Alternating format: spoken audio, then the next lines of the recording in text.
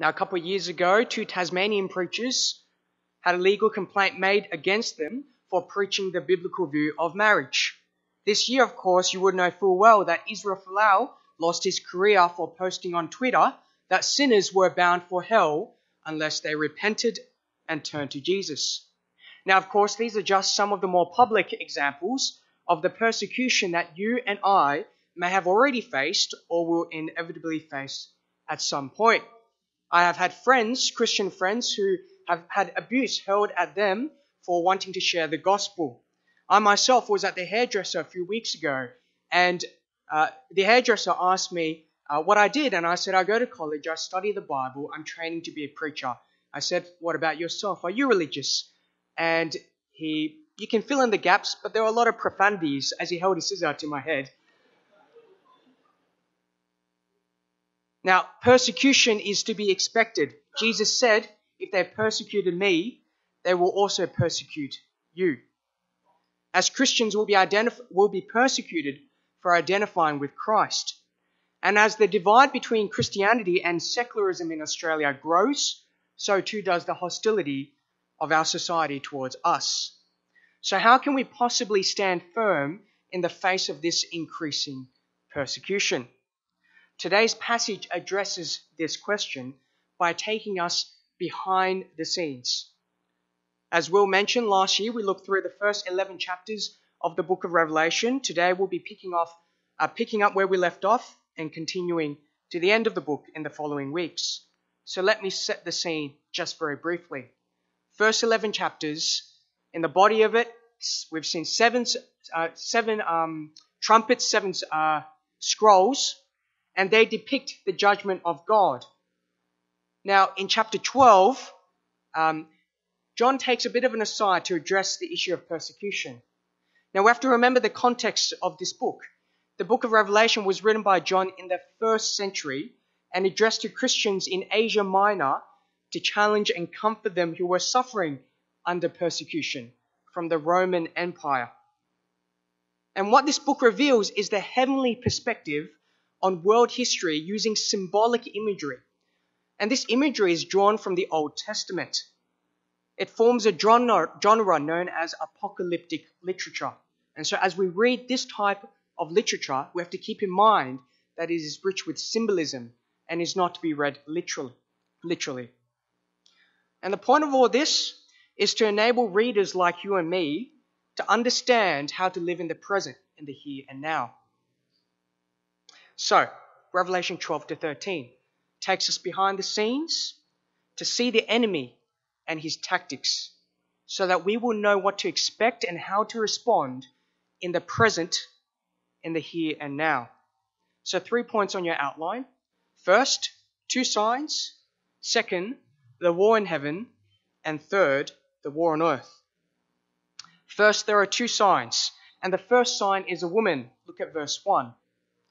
And a great sign appeared in heaven a woman clothed with the sun, with the moon under her feet, and on her head a crown of 12 stars. In verse 2, she's pregnant and about to give birth. In verse 5, she gives birth to a male child. Now, who does the woman sound like to you? Who does it sound like? Sounds like Mary, doesn't it? But it's not. Look again at verse 1 and look at the description. She's clothed with the sun, standing on the moon, wearing a crown of 12 stars. What story or dream in the Old Testament does this remind you of? Joseph's dream, doesn't it? In Joseph's dream, there's a sun, a moon, and, and 11 stars, and they bow down to Joseph. When he told this dream to his family, they weren't too happy with him, were they? Why? Because the sun was his father, the moon was his mother, and the 11 stars represented his 11 brothers. Now we know that Jacob's name was also Israel, and that Jacob's 12 sons became the 12 tribes of Israel. So who is the woman? The woman isn't Mary, the woman is Israel, the Old Testament people of God. In verse 5, the woman gives birth to a male child, one who is to rule all the nations with a rod of iron. Now, here's another reference back to the Old Testament. It's a reference to Psalm chapter 2, verse 9. Now, if you have your Bibles with you, turn with me to Psalm chapter 2. This is important to look at. Psalm chapter 2, verse 9. And you'll find that on page 448 in the Pew Bibles. Now, Psalm chapter 2 is all about God's King, the Messiah. Just scan through the first few verses. They speak about the nations and the kings of the earth conspiring against God and his anointed one. But in verse 4, God laughs because he has set his king on Zion. Who is this king? Well, God calls him his son in verse 7. And God says to him in verse 8, Ask of me, and I'll make the nations your heritage, and the ends of the earth your possession. You shall break them with a rod of iron. So back to Revelation chapter 12. Who is the male child? The male child is the one who fulfills Psalm chapter 2. He's the one that God calls his son and that God has set as king over all the nations. He's Jesus, the promised one who came out of Israel. So that's the first sign. The second sign is a dragon. Look at verse 3. And another sign appeared in heaven. Behold, a great red dragon with seven heads and ten horns, and on his heads seven diadems. Now, in language, in the language of apocalyptic literature, this is a description of a very powerful dragon. The ten horns remind us of the fourth beast of Daniel chapter 7, which we also read. In Daniel's vision, four beasts rise out of the sea. But the fourth beast with ten horns is the most terrifying and the most powerful of them all. And so the ten horns of the dragon symbolize his terrifying power. The dragon also has seven heads and seven diadems or crowns. Now, I don't know how the ten horns are distributed among the seven heads, but that's not the point. In apocalyptic language, seven is the divine number symbolizing completeness.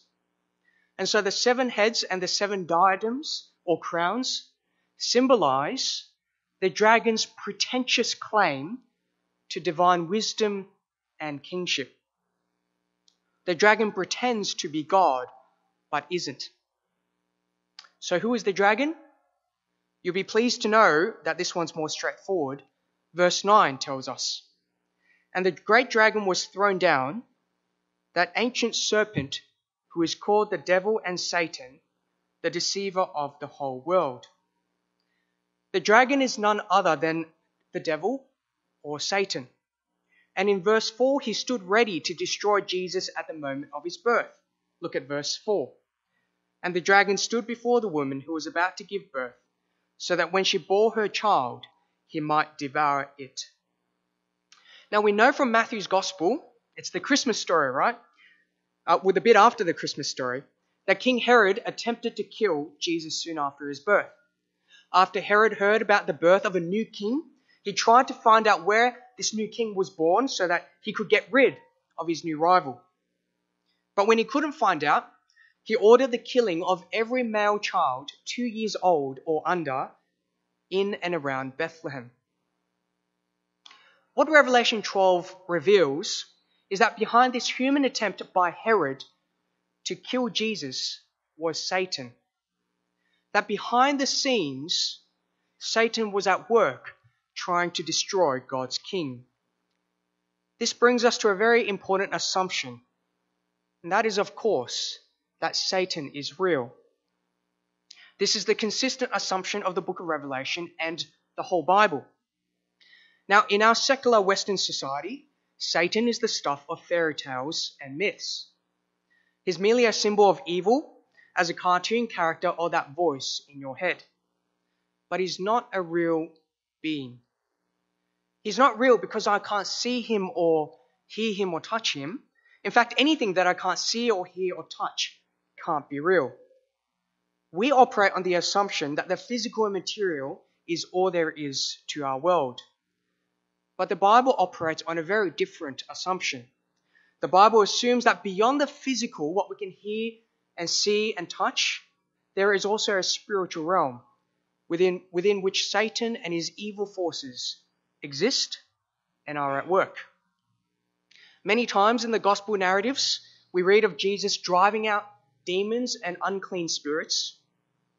And Jesus explained his ministry in terms of doing battle with Satan. So, Mark chapter 3, for example, when his opponents accused him of casting out demons by the power of Satan, Jesus replied that actually he had come to overthrow Satan and release people from under the power of death. So, what are you and I to believe then? Well, I want to suggest to you that if you believe in what is written of Jesus in the Bible, and you profess faith in Jesus, you're a Christian, in other words, then you must also believe the Bible's assumption that there is a spiritual realm within which Satan and his evil forces are at work in this world. Now, if you're worried that people will think you're stupid for believing such things, you don't need to be. Because you already believe that Jesus is God born as a human, that Jesus died and then three days later came back to life, and that Jesus ascended to heaven. People already think you're stupid. You don't need to worry about that. Let me give you two reasons why it's important for Christians to believe in the Bible's assumption. First, if you don't believe that Satan is real, then you'll never actually understand why there's evil in our world. And you always be surprised when evil happens. Second, and we'll talk more about this later in the second point, if you don't believe that Satan is real, then you'll fail to see who the true enemy is, and you'll be very poorly prepared when he attacks. Satan is real, and behind the scenes, he stood ready to destroy Jesus, but he failed. Verse 5.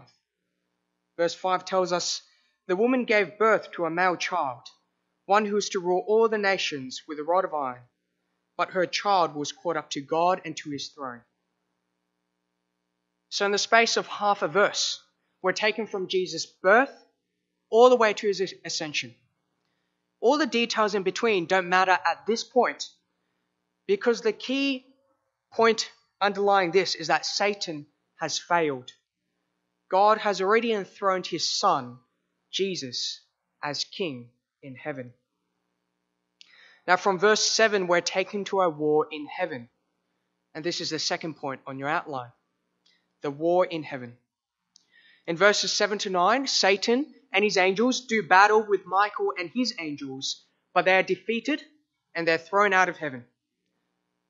Verses 7 to 9 is the event, verses 10 and following is the interpretation of that event. So look at verse 10. And I heard a loud voice in heaven saying, Now the salvation and the power and the kingdom of our God and the authority of his Christ have, have come. For the accuser of our brothers has been thrown down, who accuses them day and night before our God. The question is, when did this happen? When was Satan defeated and thrown out of heaven? Well, turn with me back to Revelation chapter 5. Turn back a few pages to Revelation chapter 5.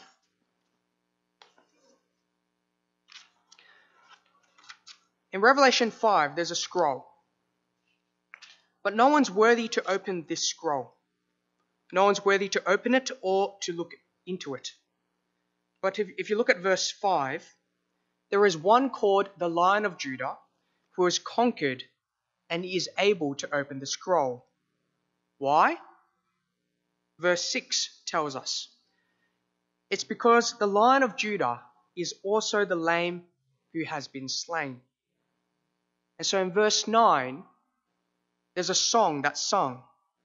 And they sang this song Worthy are you to take the scroll and to open its seals. For you were slain, and by your blood you ransomed people for God from every tribe and language and people and nation. So back to Revelation 12. When was Satan defeated and thrown out of heaven? Well, he was defeated and thrown out of heaven when the Lion of Judah, the slain lamb, that is Jesus, died on the cross. That's when it happened. But how does this actually work? How does Jesus dying on a cross defeat Satan? Well, to answer this, we must understand Satan's power, his weapon. Satan's great power, his weapon, lies in his words, in his accusations. You can see it there in verse 10. He's the accuser who accuses people day and night before God.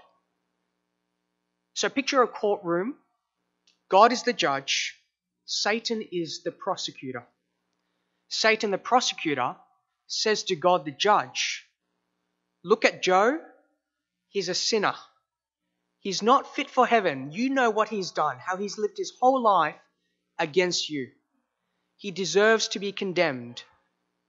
He deserves to be judged and to be thrown into hell. And do you know what? Satan is right. I am a sinner. I'm not fit for heaven, and I deserve to be condemned by God. And so do you. But Jesus died in our place, the Lamb who was slain. His death paid the penalty for our sins in full. And his blood has wiped away the guilt of our rebellion against God. So that now, when Satan, the prosecutor, stands before God, the judge, and he says, Look at Joe, he's a sinner, he's not fit for heaven, he deserves to be condemned. God says to him, No, he doesn't.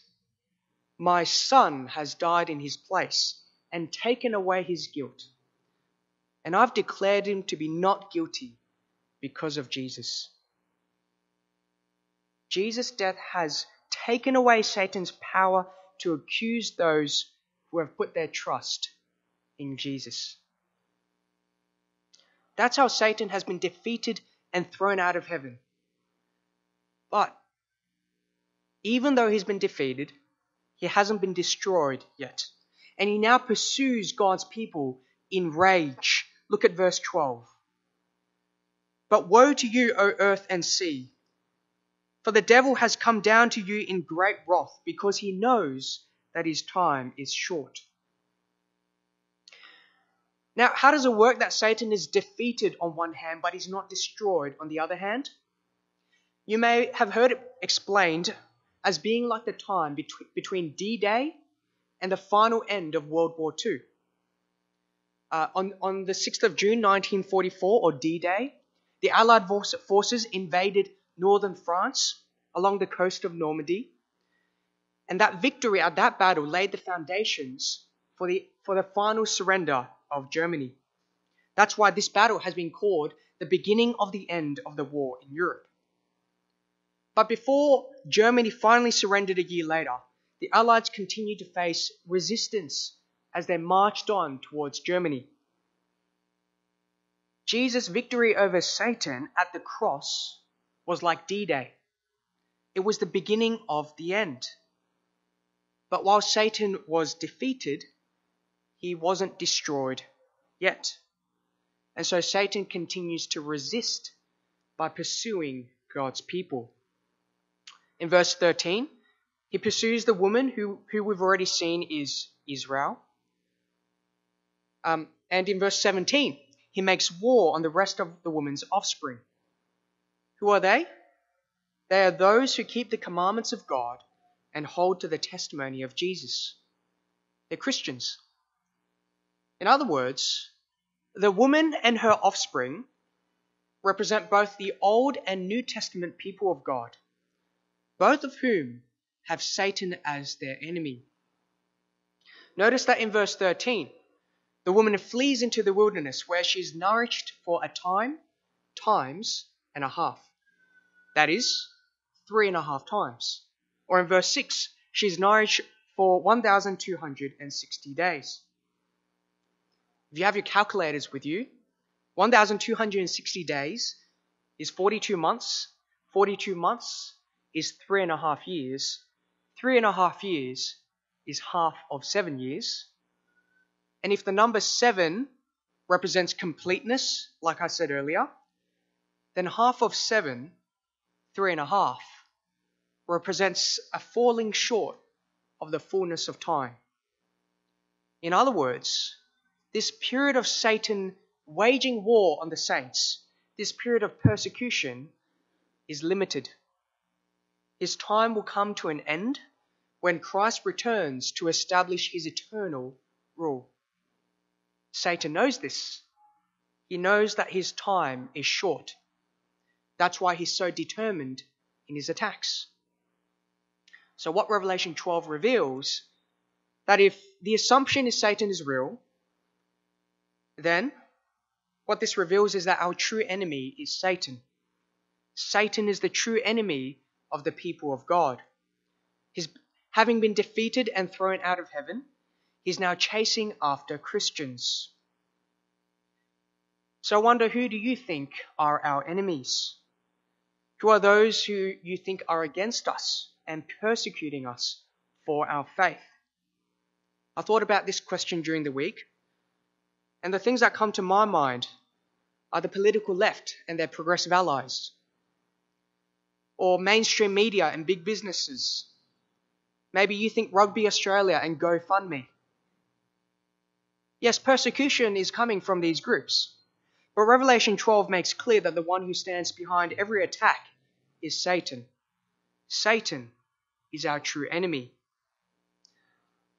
And knowing this is important because it helps us to see where the real battle is.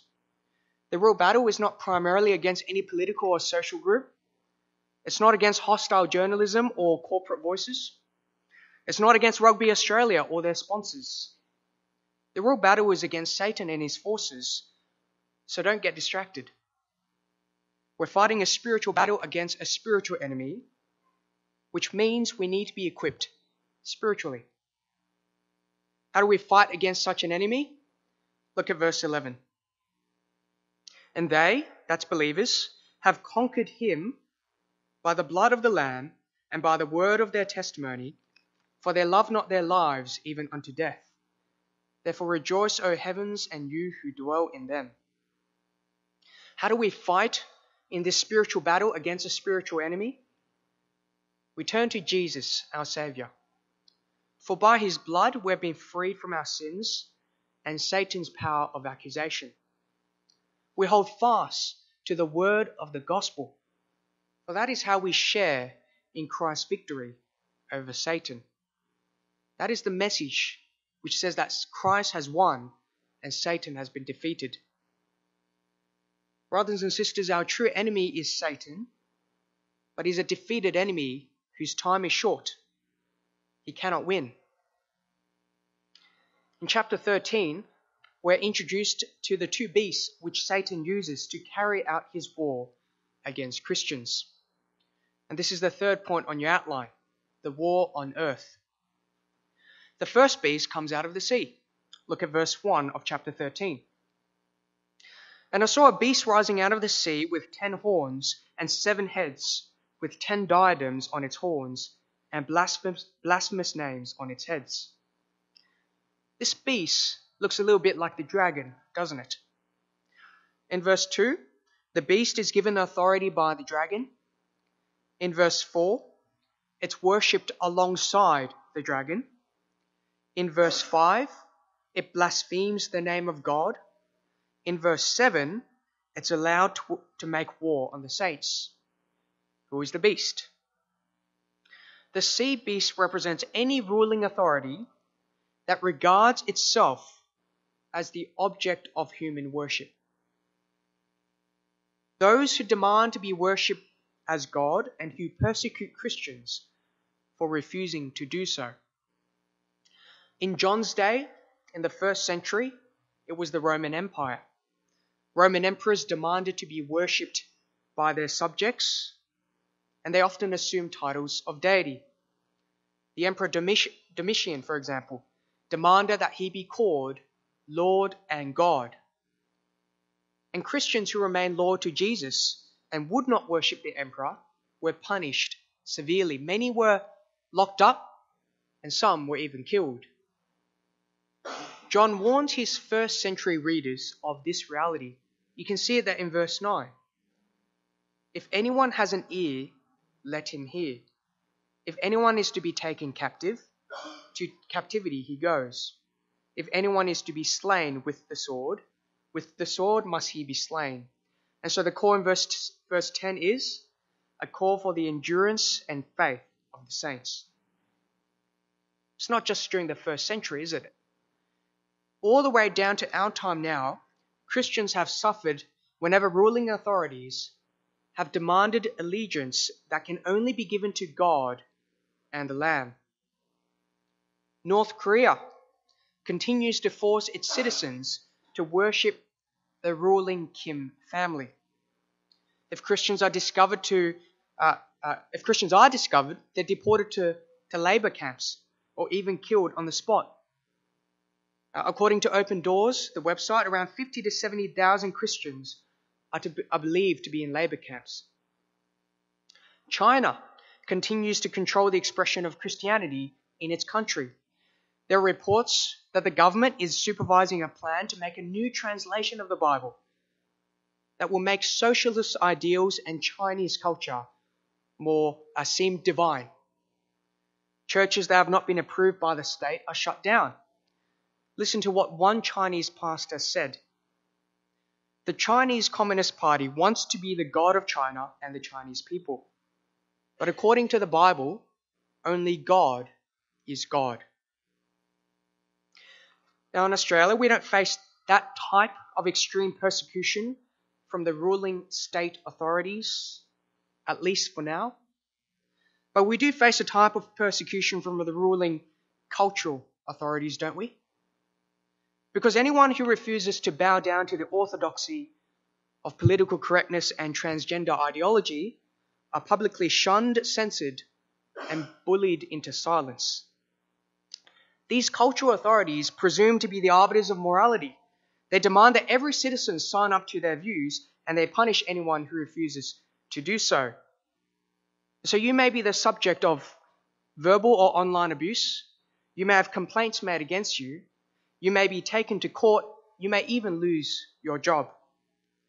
So here's a call for endurance and faith to remain loyal to God. The second beast comes out of the earth. Verse 11. Then I saw another beast rising out of the earth. It had two horns like a lamb, and it spoke like a dragon. The second beast doesn't look as terrifying as the first beast, does it? But it's deceptive. It's deceptive in both its appearance and its actions. It looks like a lamb, but it speaks like a dragon. In verse 12, it exercises the authority of the first beast. In verse 13 and 14, it performs great signs to deceive the people into worshipping the first beast. So, who is the land beast? The land beast represents false teachers in the church, false religious authorities, those who encourage Christians to compromise with the culture's idolatrous institutions those who deceive Christians into worshipping the ruling authorities rather than God. In John's day, in the first century, it was probably the high priest of Asia and those associated with him. The high priest was responsible for ensuring the loyalty of the people to Rome by making them worship the emperor. And so, verse 16 and 17 may be referring to financial sanctions that were applied to those unwilling to participate in the imperial cult. Look at verse 16. Also, it, that is the land beast, causes all, both small and great, both rich and poor, both free and slave, to be marked on the right hand or the forehead, so that no one can buy or sell unless he has the mark. That is the name of the beast, the sea beast, or the number of its name which is why verse 18 calls for wisdom. Let the one who has understanding calculate the number of the beast, for it is the number of a man, and his number is 666. Lots of ink has been spilt over this verse. I'm not going to spill much more ink over it.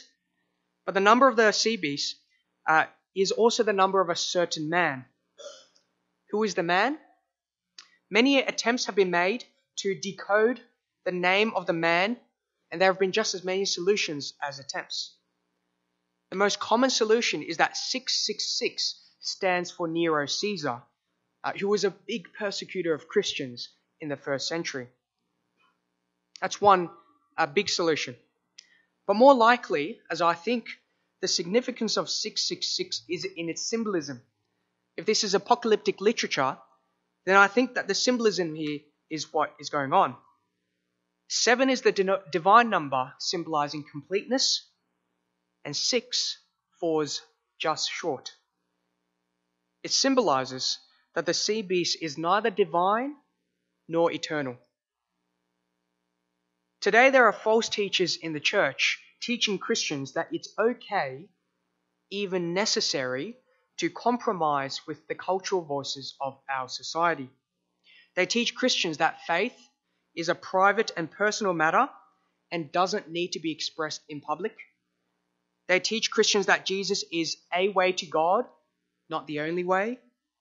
They teach Christians that the loving thing to do is to let people live their own way rather than warning them about God's judgment. And they deceive Christians to worship the voice of our culture rather than the word of God. So here's a call for wisdom to understand that the ruling authorities are neither divine nor eternal. They do not deserve the worship that is due only to God and the Lamb.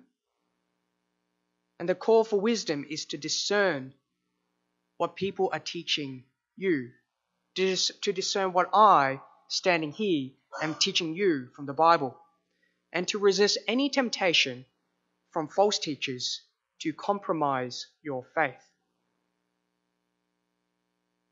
Revelation 12 and 13 have taken us behind the scenes to see the enemy and his tactics.